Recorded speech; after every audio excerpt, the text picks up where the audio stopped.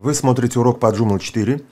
Меня зовут Федор Васильев. Тема урока – система, блок, техническое обслуживание. И давайте по пунктам здесь пройдемся.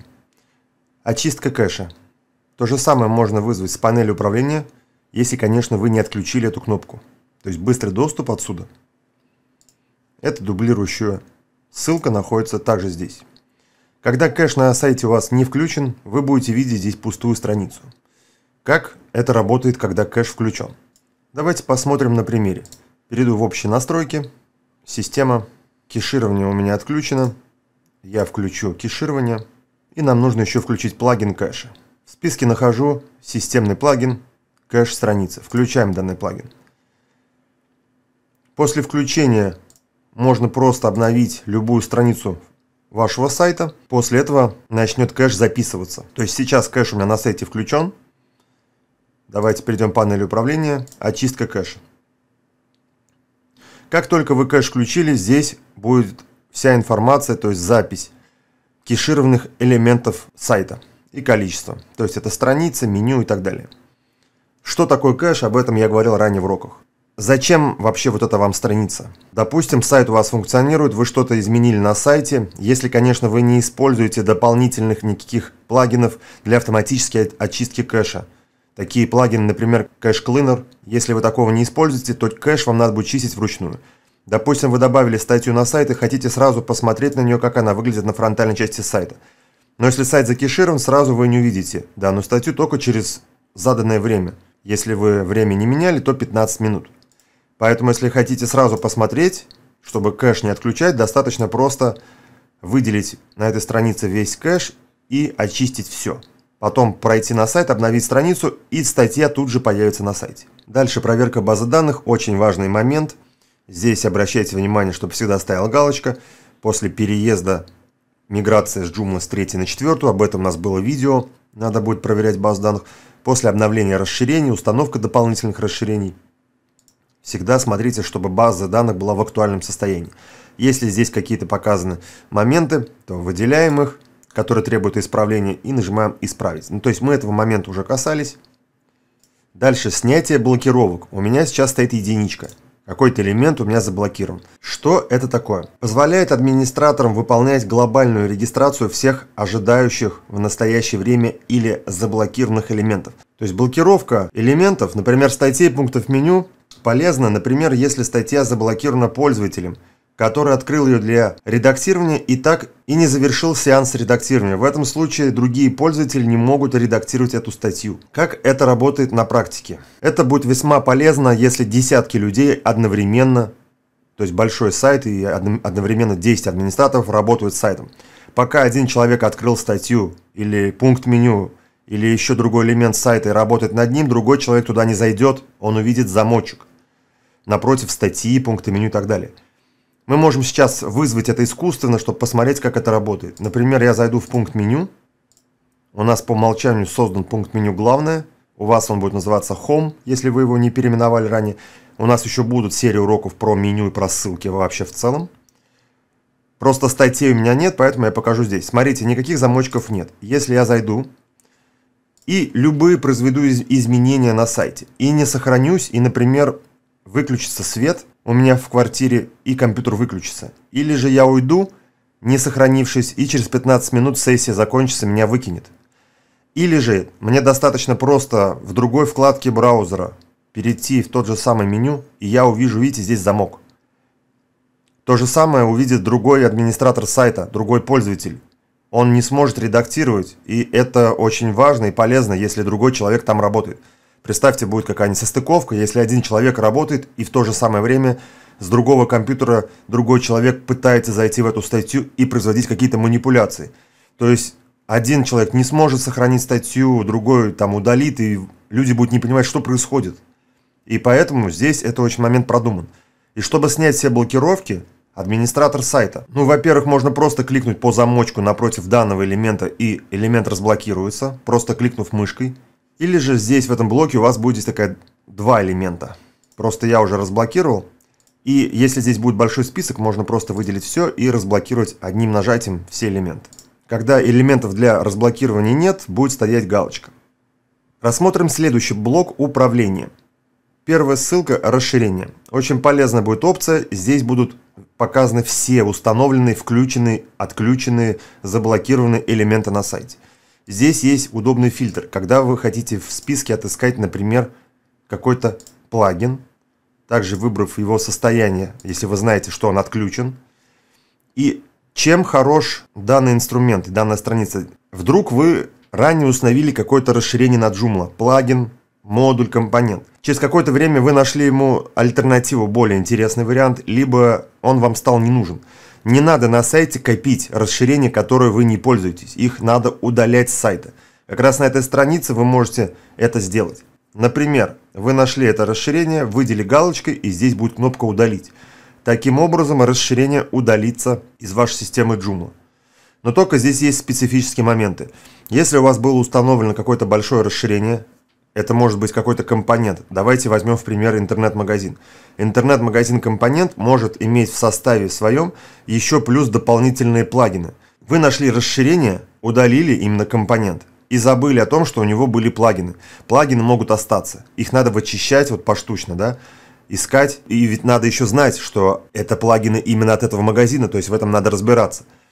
Потому что незнающий человек может удалить компонент, плагины останутся, и чем чревато, а все это нагрузка на сайт. Так или иначе, в большом или в маленьком размере нагрузки на сайт, но все равно нагрузка есть. Рано или поздно сайт таким образом засорится, и сайт будет дольше грузиться у вас на сайте. За этим нужно следить. И очень внимательно вообще к этому подходить. Лучше иметь какой-то запасной демо-сайт на другом домене, где вы будете тестировать компоненты и решать для себя, нужно вам это или нет. Не надо на рабочий сайт устанавливать и тестировать целую кучу расширений. Да? Рано или поздно ваш сайт будет очень долго открываться. Следующая ссылка – установленные языки. Если мы перейдем, видим, что есть русский язык, который мы с вами устанавливали при установке Joomla. Видим, что звездочка, язык назначен по умолчанию. И у нас есть сразу установленный английский язык.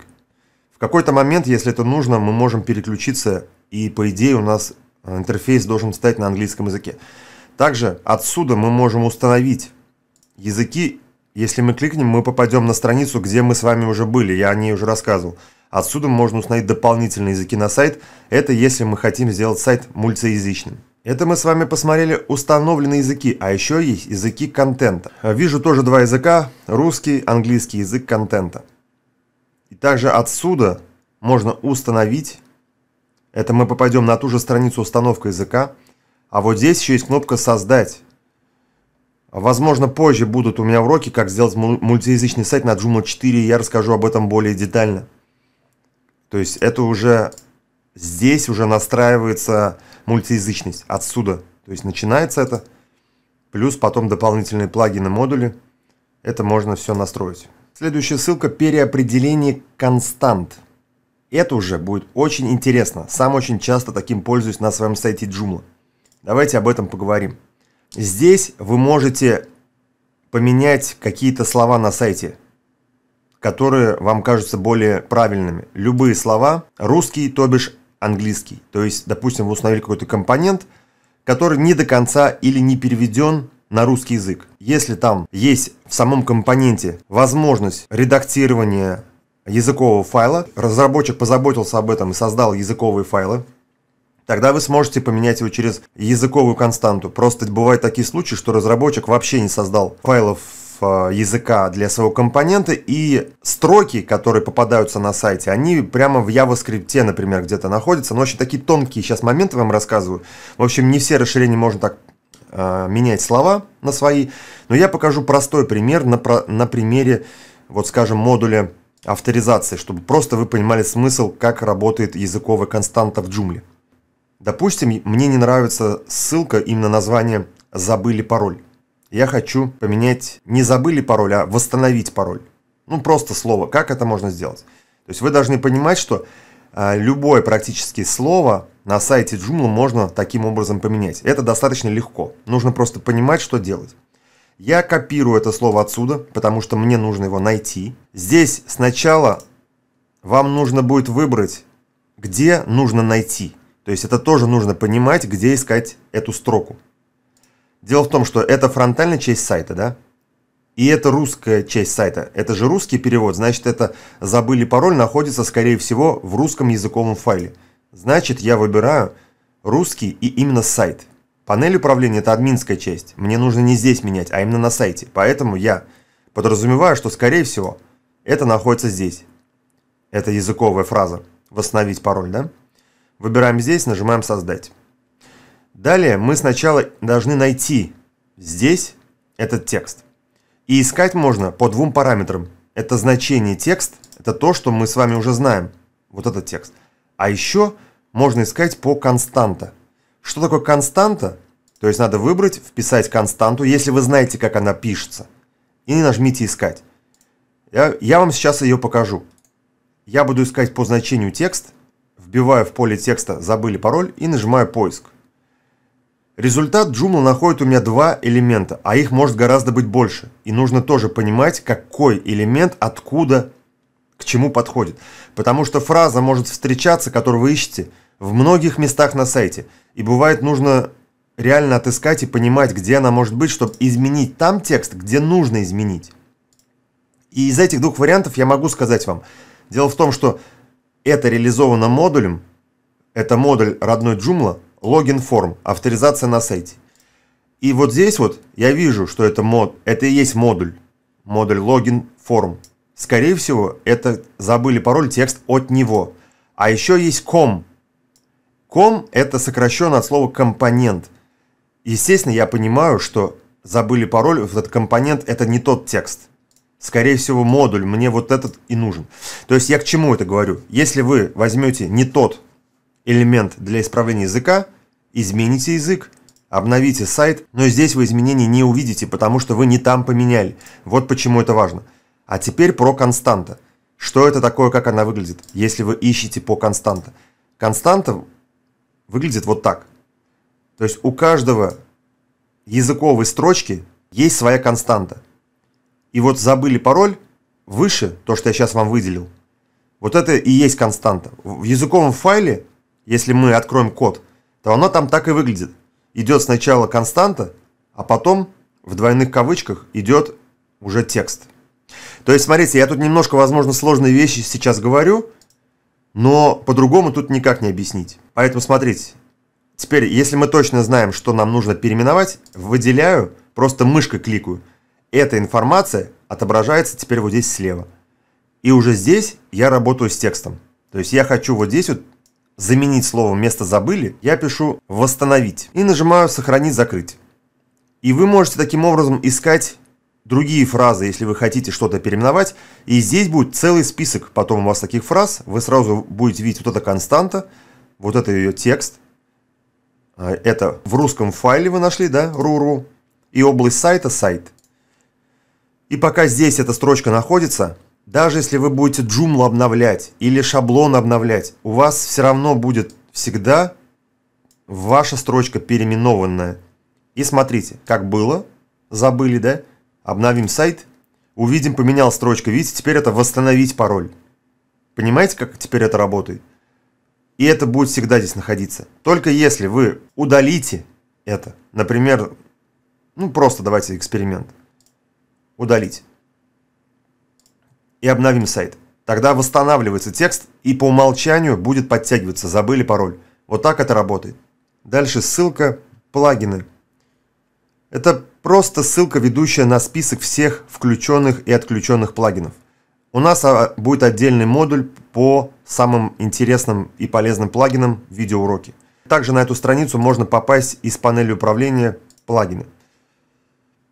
Следующая немаловажная ссылка – перенаправление. Очень часто и активно я использую на своем сайте fedorvasiliev.com на Joomla 3. Это перекочевало с Joomla 3 на 4.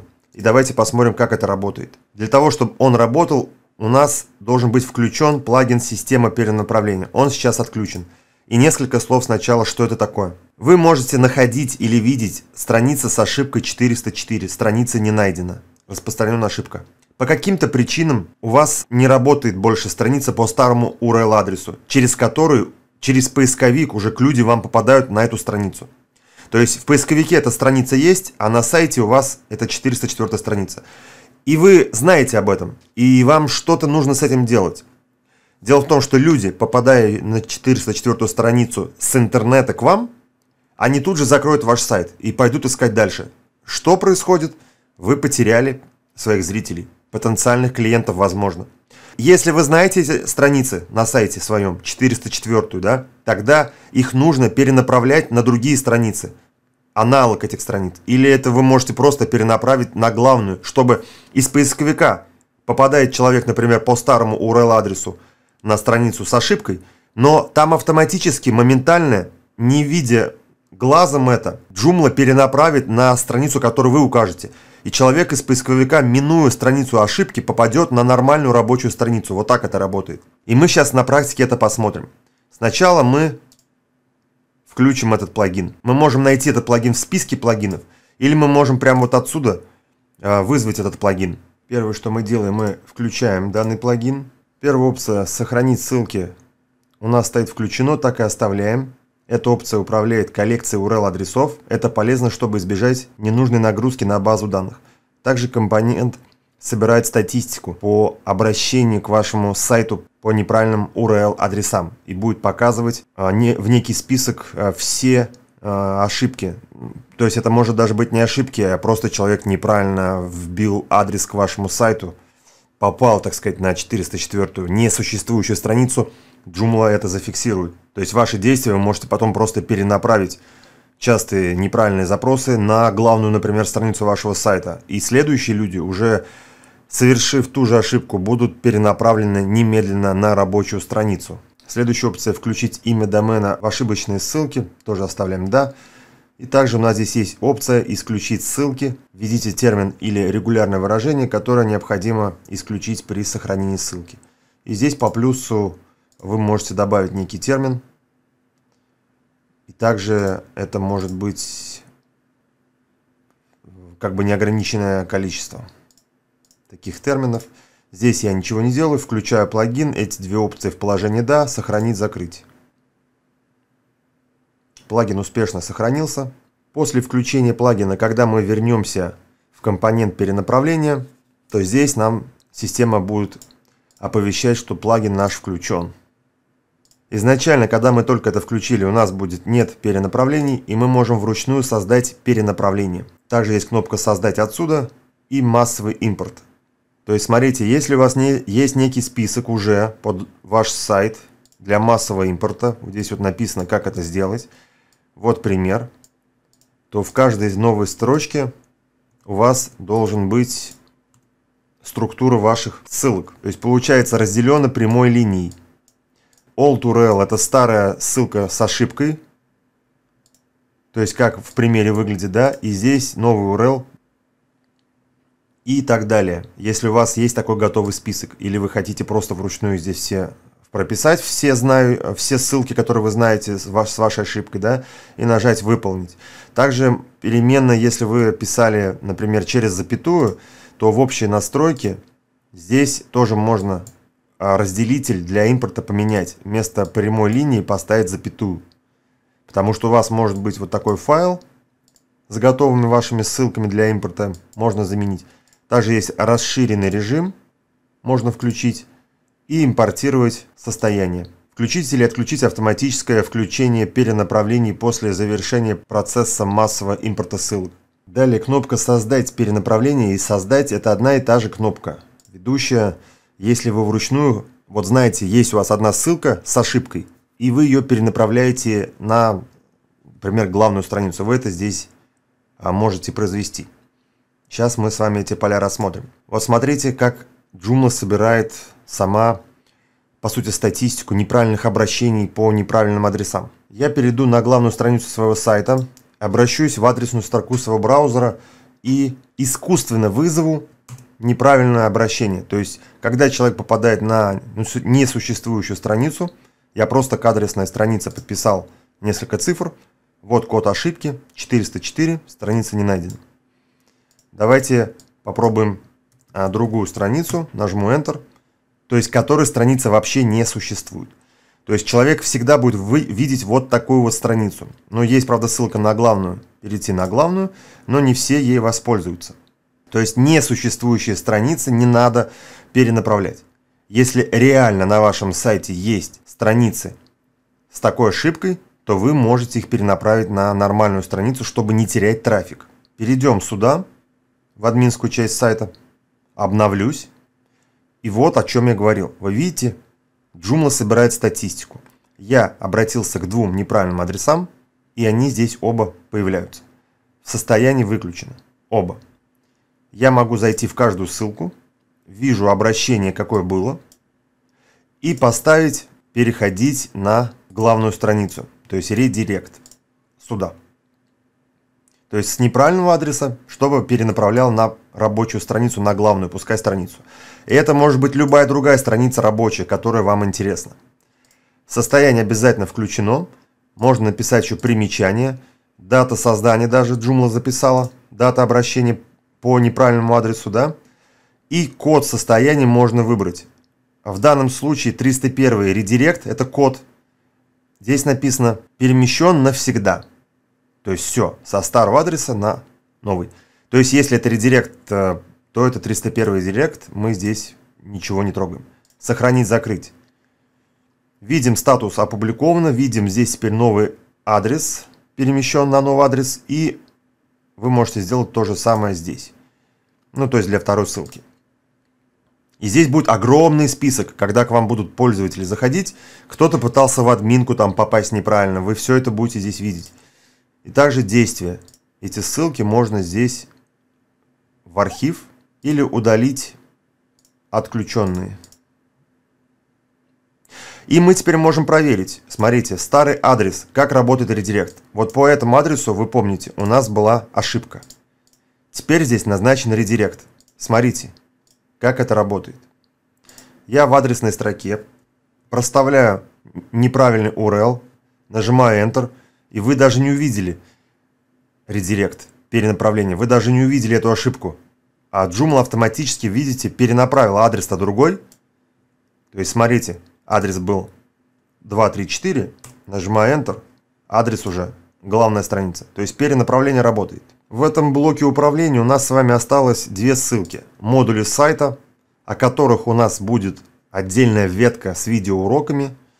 Здесь вы можете видеть список модулей сайта и есть еще список модулей панели управления, к которым мы частично касались.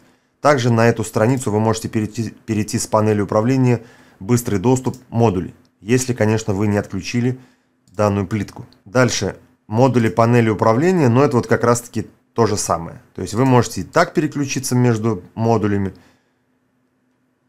И, соответственно, здесь выведены две ссылки.